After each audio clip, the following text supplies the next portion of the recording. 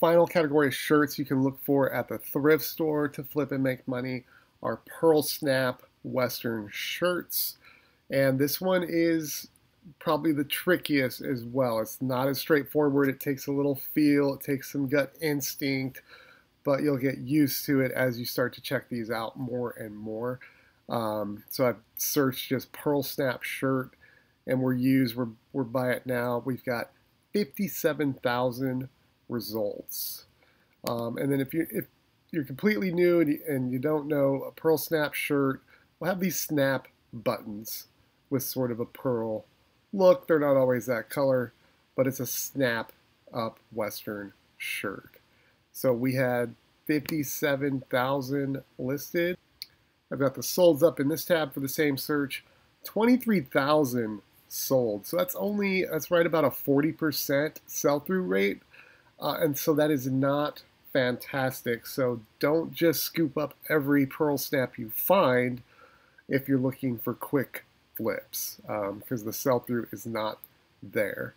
And looking over here at the different brands, you'll find these in very common brands like Levi's, Lucky Brand, um, Ely Cattleman is one you come across often, and then Wrangler is probably what you're going to find the most. So I do have a couple pulled up that are brands with 100% sell-through in Pearl Snaps. This first one is Salt Valley Western. We've got 257 sold, and that's against 232 listed, so that's a 100% sell-through rate. I have sold every Salt Valley Western shirt I've ever bought. Even size small, I'll usually still pick it up.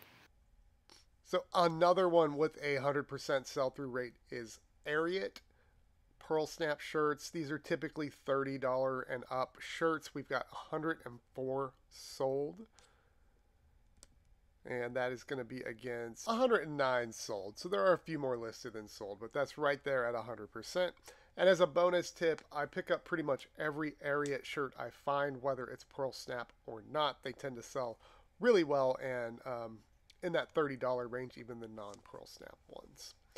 Now, there are probably some other brands like this that are 100% or close to it in the Pearl Snaps, uh, but they're all going to be similar to this, like low listing pool. I don't know of any where there's like a thousand sold and a thousand listed, just based solely on brand.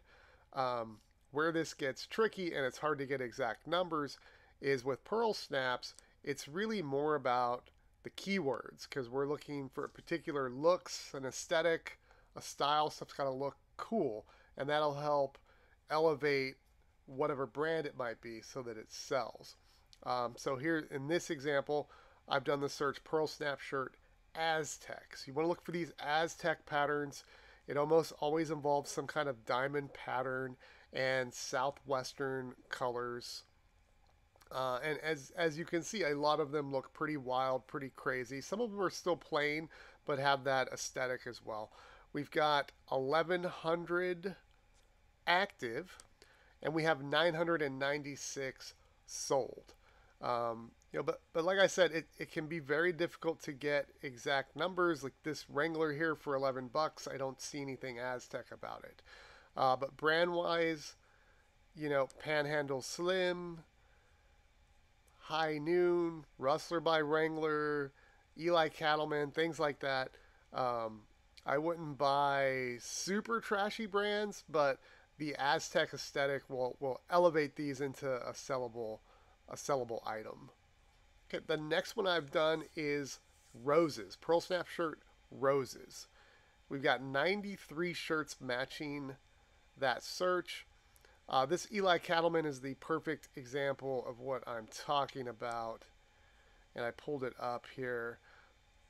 Uh, so the roses are embroidered up on the shoulder area of the shirt. That's called the yoke. And it also has that uh, red piping. So it just looks cool. Oh, and um, I didn't mention this before. You see that sort of unique shape on the pocket? That's called a sawtooth pocket. But um, yeah, embroidery, particularly roses, is a popular theme in Pearl Snaps. I think it's something to do with the rodeo. Um, you see, this one has roses and skulls. I mean, obviously, you're going to want to look that up and and possibly buy it. But Let's see, we've got 93 results matching our search. We've got 95 sold. So right there at that 100% sell through rate. Um, and and don't limit yourself to roses. Any anything that you see embroidered up on the yoke area, look into it, investigate it. If it's cool, it's probably something that that could flip. Now I want to go over in a little more detail uh, what you're going to come across most often, and that's Wrangler and Ely Cattleman. And then we can go ahead and look at some of the super high value items that are out there in Pearl Snaps that are going to be rare to come across, but you should definitely know about in case you do. Okay, so I wanted to talk about Wrangler in a little more detail because that, like I said, is absolutely what you're going to come across the most. And, you know, here's the story just Wrangler Pearl Snap shirts pre owned. We've got 17,000 listed, so that's quite a few and we only have 7,700 sold. So that's less than a 50% sell through rate. That's not great. You're not going to be picking up every Wrangler Pearl Snap you find at a retail thrift. Uh, I would I would pick them up in other environments if I can get them just super cheap. Then sure, why not? But you know, very similar to what we saw with Pearl Snaps in general. You want to look for stuff like vintage. You want to look for the high value keywords like Aztec, color block, big bold patterns, stuff that just looks cool. So like here's an Aztec one that went for 30 bucks. Wrangler Rancher is a line, it's a different label. There's a bunch of different labels. And you can see the prices here, you know, they're just not that great. Here's another Aztec one I think we saw in the Aztec search as well. Here we go, vintage 90s like pretty cool looking stripes, that type of stuff you can pick up. But for the most part, um, I leave behind a lot of the Wrangler pearl snaps that I come across. It's just not um, the the sales velocity and the prices just often are not there. Here's one here, extra long tails. That will be on the the tag and it's it's you know it's like a it's kind of like an XLT. It's an extra long shirt. Those sell at a little faster clip, but still not hundred percent. And even if you filter this search for like XXL and up, you're still not at hundred percent sell through. Um, so just be very careful with Wrangler. I've definitely sold Wrangler Pearl Snaps before. You know, something like this that's just wild and crazy looking, or like this one here this would be a no-brainer, obvious pickup, whereas this one below it, you're going to leave behind. You know, so Wrangler just takes a lot of experience, a lot of feel, and an eye for for where the money is. It's not something you want to grab just all over the place. There's a lot of just very humdrum, plain Wrangler shirts, and sure, some of them sell. But if you're looking to flip stuff quickly, um, it's just not going to be in our wheelhouse. But but keep an eye out for the vintage stuff and the really cool looking stuff like this one. It's half one color, it's half striped. That's cool. Here's a vintage one with a cool pattern. You know, that's what you basically want to find in Wrangler um, to get the quicker flip and the better prices. Let's also take a look at Ely Cattleman. Uh, this is what I come across probably the next most often. Uh, we've got 3,200 active listings. How we doing on solds? 1,500 sold. So, you know, right around that 50% sell through rate again. And uh, again, just not a strong pickup on a regular basis. Uh, Ely Cattleman is probably what I find the roses in most often.